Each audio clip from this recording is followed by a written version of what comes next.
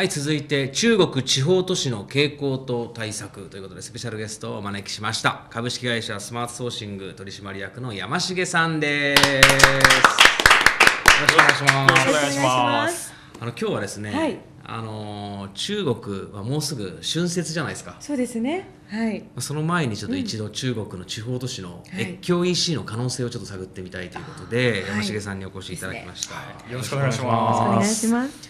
で山重さんの会社スマートソーシングさんは、はい。あのまあ、日本全国の、まあ、たくさんのサプライヤーとつながってて。そうですね。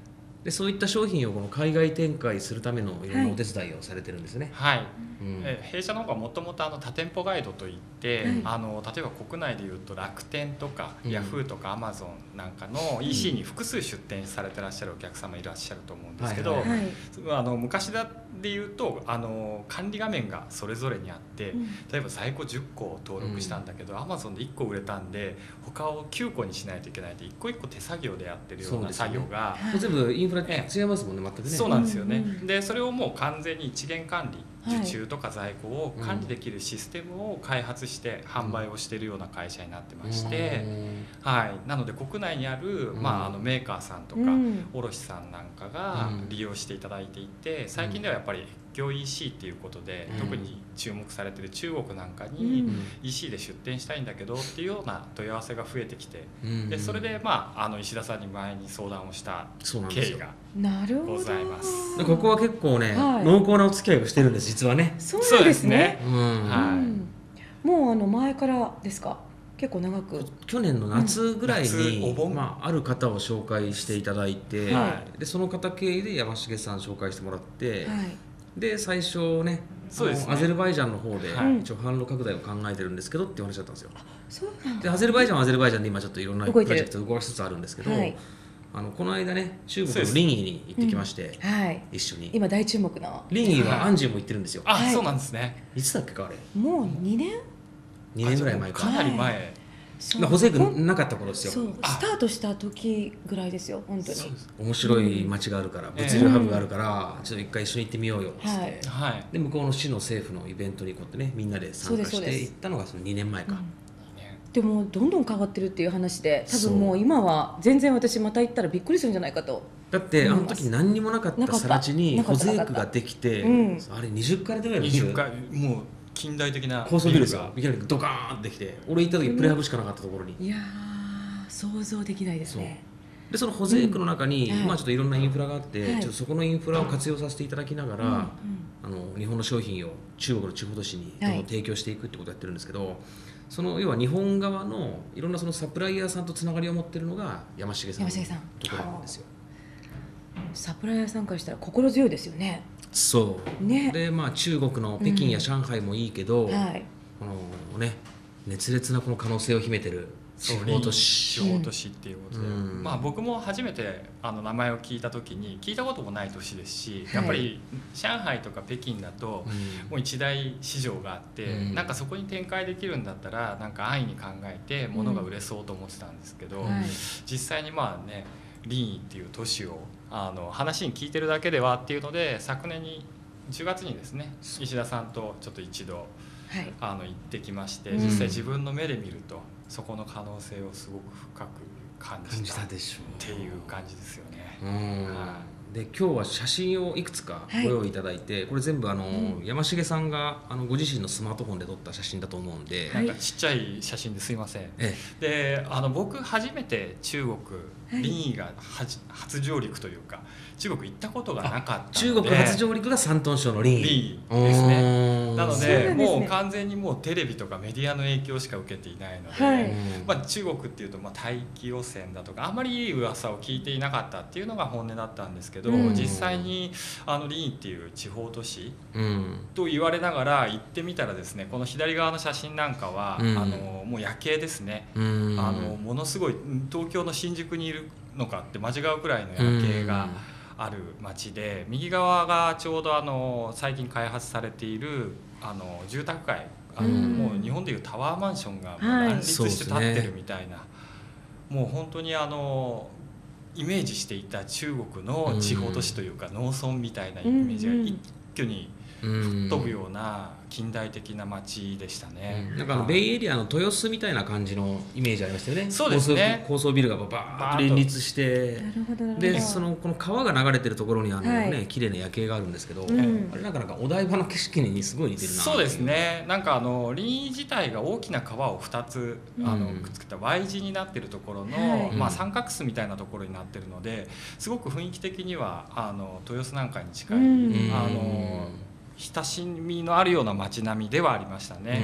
で次の写真が、うん。えー、とここがリーのもう街なんですけれどももともとですね、はい。結構アパレルの問屋さんがものすごく多くある、うんあの街だったみたいでそこの問屋さん実際にあの視察行ったんですけど右の写真がもうなんていうんですかねアメ横をうん。何十個もくっつけたみたいな大きな問屋街で。うん。でここの問屋街あの入ってみるともう56階建ての建物なんですけれども男性あの紳士服婦人服、うん。子供服うん。秋物春物冬物って全部が何でもありですね。何でも揃ってしまうものすごい一大マーケットがあって、はい。しかも価格もね結構安いものから高級品まで結構ええ取り揃えてあって、なのであのいろいろなものがもうここだけでうん揃えられる、揃っちゃう。ええ。うん。で実際にまあ中入ってみるとやはりあの問屋街なので、はい。中国国内からも多くのバイヤーさんが買いにうん。来られていて実際にもうこんな大きな袋にああの洋服を詰めて、はい。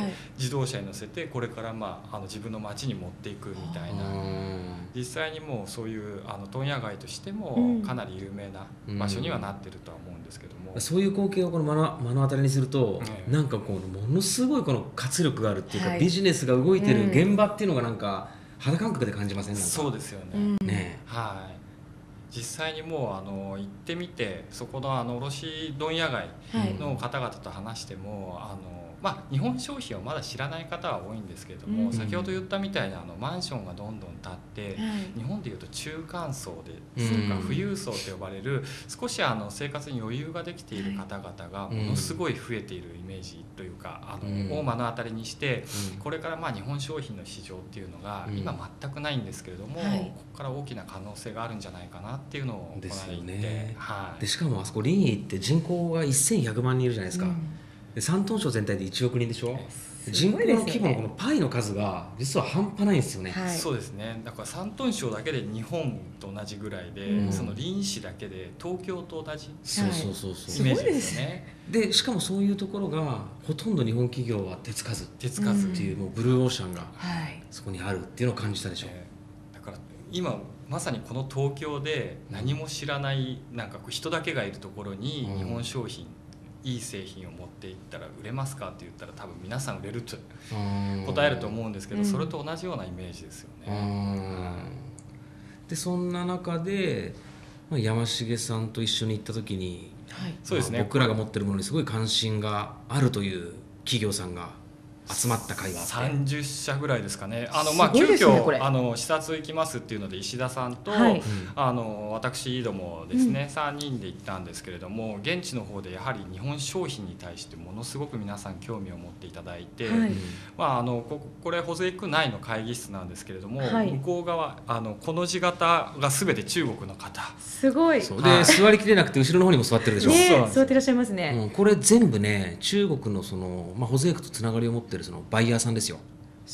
要は日本の商品に関心があるはい。業者さんね。そうですね、うん。でもう実際にここで意見交換会みたいのさせていただいたんですけど、はい。やっぱりあの現地のバイヤーさんでいうともう具体的にこういう商品があるのかとか、うん例えばあの日本酒みたいなお酒は取り扱えるのかとか、はい。うん。化粧品だったらどんなものがあるんだっていう,、うん。もう具体的な質問がどんどん飛んでくすごかったるのでよね質問のなんかやる気満々度合いというか。本当ですか？うん。もういろんな質問。そうなんですよ、うん。でどうやったら入れられるのかとかいくらくらいなのかとかもう具体的にどんどんなんかやっていきたいっていう熱を感じるような、じゃあ本当にビジネスチャンスがそうなんですよ、あるんですね。うん、興味があるというかね。そうですね、うん。興味かなりありますよね、ええ。日本商品に関する。本当ですか？うん。やっぱりそれはまあ今までですと、はい。あのテレビなどのメディアしかなかった中国ですけど、やはり最近ではインターネットが、ねうん。発達したので皆さんやっぱり調べることによって、うん。あの現地行くと分かるんですけどもうほぼ9割以上の輸入商品っていうと韓国商品がメインに置かれているんですけれども、うん。まあ、隣の国である日本でいい商品があるっていうので実は行くとあの例えばあの赤ちゃん用の紙おむつとかは、うん。ほぼ100%日本製なんですよ。うん。なるほで日本製イコールいい商品っていうのを知っていてただ物はないのでインターネットで調べるようなところまでは今皆さんやってるようで、どうん。じゃあ日本の企業とかそういうもののつながりある人間がうん。来るんだったら何とかして手に入れてやろうっていうようなうん。証拠のたくましさっていうところが中国ですごく感じましたね。ですでこの彼らにとってはものすごいビジネスチャンスじゃないですか、そうですよね。他の人たちが仕入れることができないものを、ひょっとしたら仕入れられる可能性があるっていう、はいそういう場なんですようんでこれ次の写真が次の写真があの実際にそうですね、うん。保税区内であのもう石田さんが運営しているリトルジャパンっていう、うんあの日本商品の展示場あるかと思うんですけど、うん。そこであの実際にあの私どもが取り扱っている商品を今回はまあ手持ちでうん。持って展示即売会っていうのを実際に開かせていただいて、はい。まああの実質2時間ぐらいの販売時間だったんですけど、うん大体30団体で100名以上の方があの来場いただいてですね、私どもの持ってった商品を皆さん物色していただいて、うん。はい。でもうその場でも販売をしたので、うん。あの今実際あの石田さんに使っていただいている馬の油の馬油あれ僕リピーターになっちゃった。すごいよくて。聞いてます聞いてますはいその前の100%バーなんですよ。はいすごいいいって聞いてます。そう。でねなんか中国人が、まあ、以前日本に来て爆買いをしてた馬油っていうのは、はい。あれ馬油配合クリームなんですよ。うん。でそれと100%馬油2つ開けて使ってみたらね。一目瞭然なんだけど。全然違うんですか？馬油配合クリームはもうドロドロでね、うんもうなんか本当普通のクリームなんですベタベタのね。うなんかもうニベアに石油混ぜたみたいな悪い言い方をしちゃうと。でも100%バー油っていうのはもう本当にバー油って人間の体に一番近い油なんですって。だからもう本当に体の中に入れても全然害はないし、はい。もう食べることも全然 OK なんですよね。そんなに安食べて全なんですか？もいいぐらい。でそれ塗るともうすごいあっという間に浸透しちゃうっていうかね。そうですね。すべすべになるんだよ。つるつるすべすべに。本当ですか石田さん、これもう僕はもう気に入って、うん、もう早速山重さんのところから買って 私も買わなきゃ。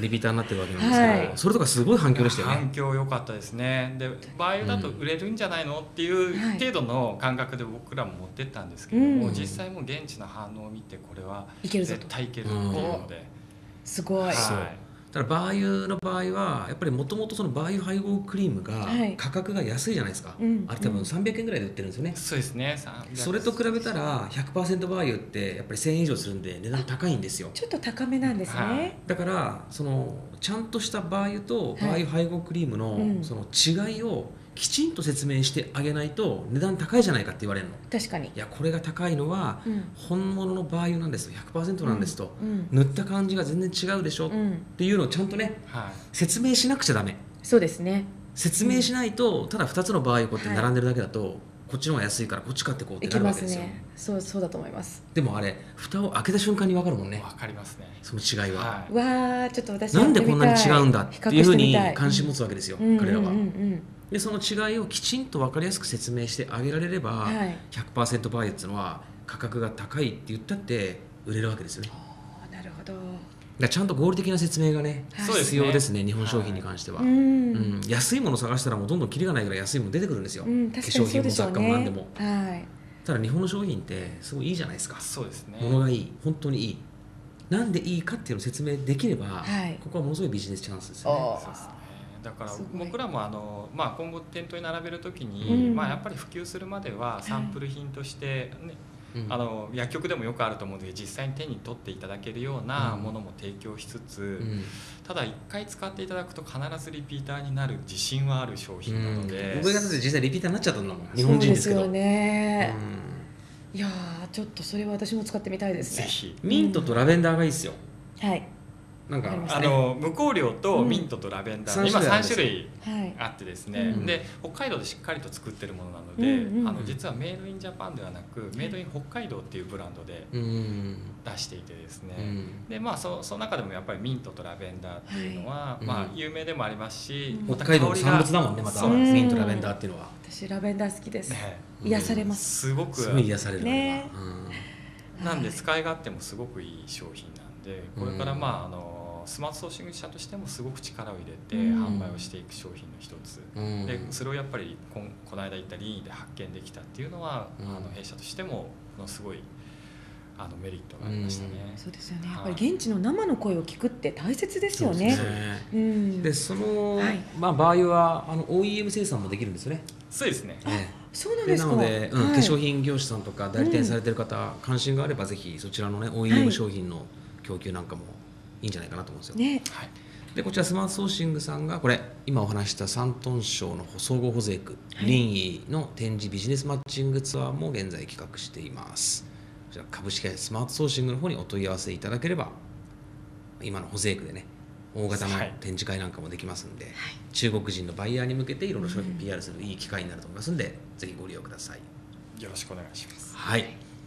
ということで、えー本日のゲスト、えースマートソーシングの山重さんをお招きして中国地方都市の傾向と対策をお届けしました。山重さんありがとうございました、ありがとうございました。